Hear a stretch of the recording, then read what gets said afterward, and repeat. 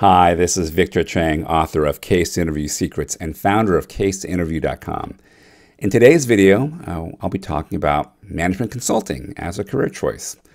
Specifically, I'll be talking about what the job entails, what makes a good consultant, what is the typical day in the life like of a consultant, why you might want to choose and consider a career in consulting, and finally, how to get a job in management consulting.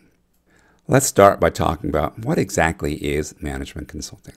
So, first off, management consulting is a professional service business, which means a client, typically a Global 2000 firm, hires a company to provide services to it. Specifically to management consulting, these services really involve uh, analyzing complex business situations, um, developing insights and conclusions around that analysis, and ultimately ending up with recommendations around what to do next. Most management consulting uh, typically centers around strategic planning type issues, major, complex, high stakes decisions that are often very confusing um, uh, for, for clients. And these are the kinds of problems that don't always happen every day. Uh, they're once every couple year type problems, which is why they often refer to consultants uh, for experience with these types of issues. So let's talk about what does a management consultant do? On a typical engagement, the consulting team will structure complex problems. So you'll hear this word a lot, structuring problems. It's just a fancy way of saying taking a very, very large, complicated problem that's really quite overwhelming for both the client and the consultant and breaking down the problem into its component parts. So rather than one overwhelming problem that seems impossible to solve, taking that problem, breaking it down to three, four, or five pieces that represent the entire problem, with each piece being much easier to analyze and, um, and to deal with. After you structure uh, a client problem, uh, the consultant team will uh, use a uh, analytical uh, problem-solving process that involves analyzing a lot of data. Right? So once you know what's going on with the situation that a client is facing, you want to quantify what's going on so you can numerically measure. Uh, you want to take hypotheses and ideas that clients have about what might be going on and try to quantify that. You ultimately want to do all this analysis and gather all these facts to derive uh, fact based conclusions. So, clients have many opinions on what is going on and what they should be doing. Consultants don't. Consultants only come up with conclusions that are based on fact. That is the role of the consultant, the consulting team. And ultimately, the consultant is responsible for making recommendations of what the client should do next. Here are a few common traits of management consultants. First off, they're excellent logical problem solvers. Right? This is really important. Every every word I just said is extremely important. Excellent at solving problems logically. Some clients are brilliant at solving problems intuitively. Uh, Steve Jobs, the late Steve Jobs, for example, um, is comes to mind as an incredibly brilliant and insightful, intuitive uh, business leader, decision maker, and strategist. Okay? Steve Jobs would make a terrible consultant because his process is not logical and linear. Uh, it's based on vision, it's based on intuition, and can't easily be supported by fact. Doesn't mean he's wrong. In fact, Steve Jobs is right quite often. What it does mean is that he can't justify his decision to a client. And that's the important distinction uh, about management consultants is their approach is logical, it can be followed by others, it can be understood by others, it can be defended, and therefore it can be accepted uh, in a, a reassuring, logically reassuring kind of way.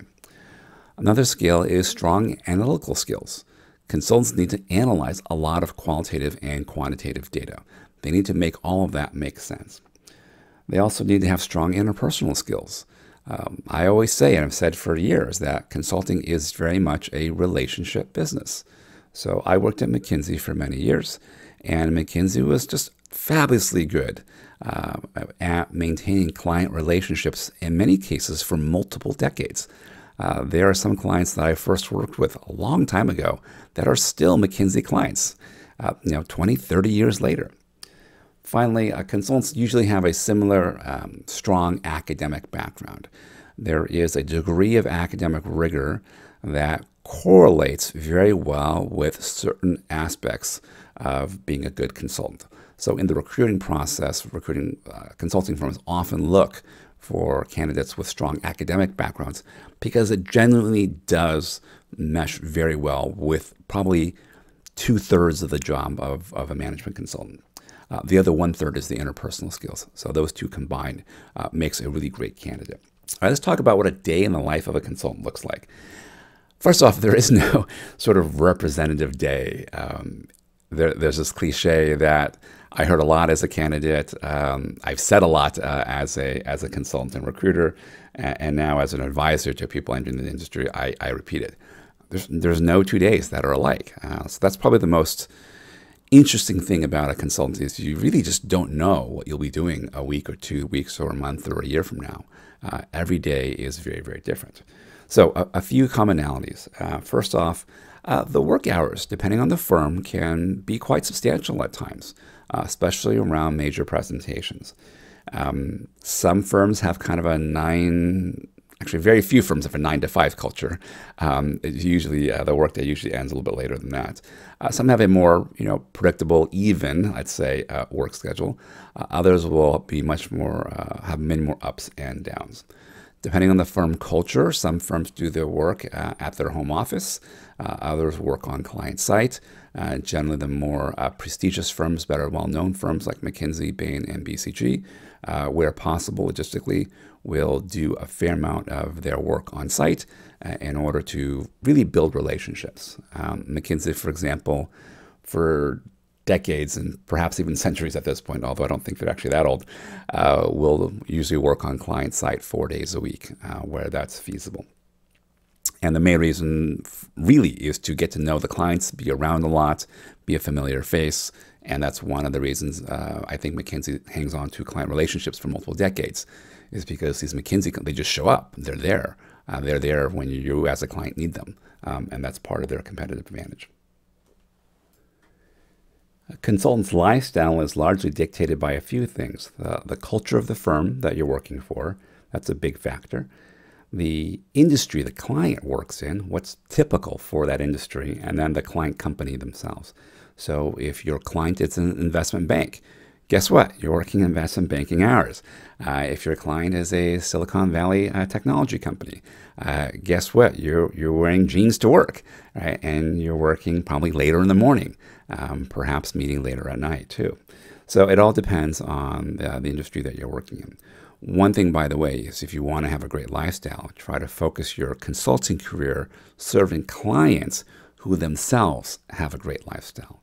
Um, that's an easy way to, especially if those clients are, are local and don't involve a lot of travel. Um, so if you want to not travel, you and you want to work in the financial industry, you work in New York, or you work in London, or you work in Hong Kong. Uh, if you want to work in technology, um, work in Silicon Valley, right? You don't have to go very far to go to clients. There are four major reasons why many people find management consulting careers uh, very attractive. It's also the same reasons why it's extremely competitive. Probably the number one reason people like consulting is for the learning opportunities. Consultants learn an awful lot in a very short period of time. There's a lot of variety of work in consulting. First off, the work is project based. Project comes up, you do it, you move on to the next project. Because it's project based, you're constantly rotating through many different areas um, within the firm. You can be working in one industry today and a different industry tomorrow. You can be working in a sales related issue for a client and then a finance related issue for a client, a different client, you know, a few months later. So in, in a very short period of time, you get to see uh, incredible breadth uh, within a within across the functional areas within business, as well as multiple industries, depending on the firm that you work for. So it's an incredible opportunity, especially early in your career, to see an awful lot that you really can't see any other way. Uh, in my three years at McKinsey, I saw candidly more than most white collar professionals see in two to three decades. Um, and that's very unusual to have that kind of, of access. You also get incredible training uh, at these consulting firms, especially the more established ones where they have a formal training program.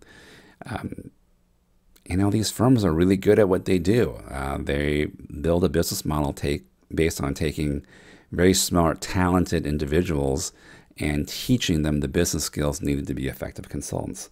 Um, so those resources and that training is extremely valuable. The consulting field works largely on the apprenticeship model, which means you might get some, uh, some training upfront around basic concept definitions and some of the tools. But really, the I would say 80 90% of the learning is by doing, where you are learning on the job in real time, uh, typically with someone who's more experienced than you. And so that's a great way to learn a, a variety of skills in a variety of often unpredictable situations. Um, so it becomes a huge opportunity. You know, the second reason people like consulting, quite candidly, is the compensation. Uh, I would say, really, other than uh, perhaps investment banking, uh, the compensation for consulting jobs is really, really incredible. You know, for someone coming out of undergrad, uh, you know, it's usually right around six figures in the United States and sort of proportionally elsewhere around the world. Um, and that is quite significant, extremely attractive uh, for total compensation in the first year. Uh, after business school and grad school, uh, it is extremely lucrative in, in, many ways, and that's why it is also very, very competitive. Uh, also, um, long-term career track. Um, if you make partner, it's you know you're making into the millions of dollars, depending on how whether you're more of a junior partner or more senior partner. And there are only so many career tracks in the world that will allow for that level of compensation. So uh, that is one huge appeal. And again, one reason it's very competitive. Uh, third reason is the network. Uh, you get to meet an awful lot of very interesting people um, when you're working these consulting firms. Uh, you have the specific colleagues and peers that you work with. Uh, you have the clients you've met. Um, and because many of these firms have alumni networks, uh, you get an automatic, uh, I guess, foot in the door uh, to get a phone call, to get a meeting uh, with someone who you've never met, but also worked at the same firm you did many years ago. So it is, as a McKinsey alumni, uh, it is far easier for me to get a meeting with someone who used to work at McKinsey than some random person off the street one of the things I really valued about working in consulting was just the incredible peer group that I had. And, you know, it's been a few years since I've been outside of the firm. And just for kicks, I was looking up, hey, where are the people I used to work with? What are they doing now? And it turns out two of the people I worked with are now CEOs of Fortune 500 companies, uh, which I thought was pretty amazing. So that's just one example of this this incredible people you can call people your peers, um, and it's uh, such an illustrative group um, to be a part of. Finally, consulting opens up a lot of doors to other careers. First, it's uh, an easy springboard to work in industry. Um, you know, two years in consulting allows you to then transfer into industry at a higher level uh, and a high level of seniority than you would by going directly to industry. Uh, that was true for me, true for probably every one of my colleagues uh, at McKinsey. A lot of former consultants get into some fabulous um, graduate school programs, everything from PhD programs, uh, certainly lots of MBAs and, and, whatnot. So you see that quite a bit. It's also a gateway to getting into some elite uh, fields.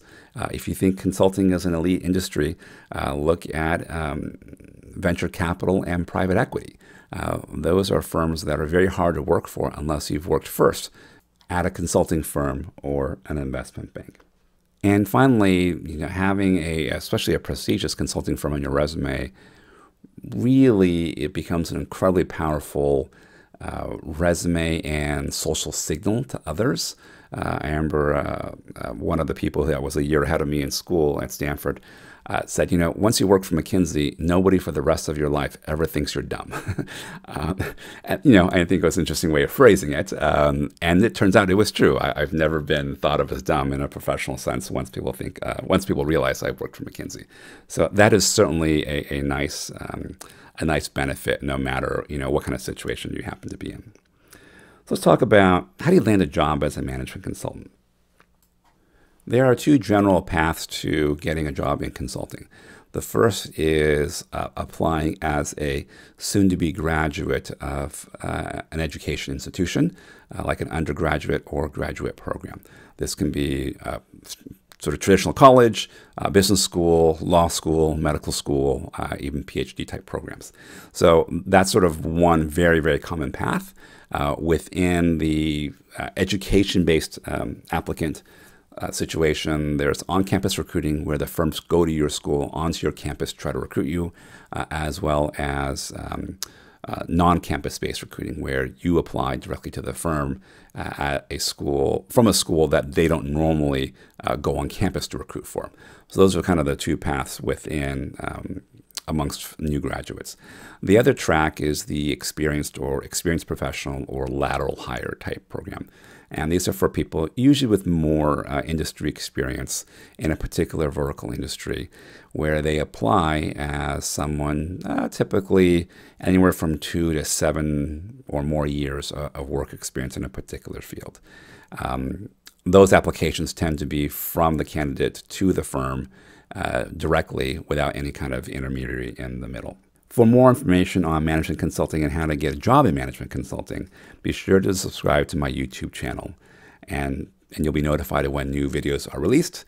Uh, in upcoming videos, I'll focus on getting management consulting job interviews, preparing for the interview, and getting the job offer. You can subscribe by clicking the button below. You also want to visit my website at caseinterview.com to get my free case interview preparation program. You'll get instant access to preparation videos, case interview frameworks, and the largest collection of management consulting interview training resources available anywhere. Finally, please leave a comment on my video. I'd love to know what you think, what you learned, and if you have any additional questions that I might not have covered in enough detail. I'll use these comments as input for future videos. Thanks and have a great day.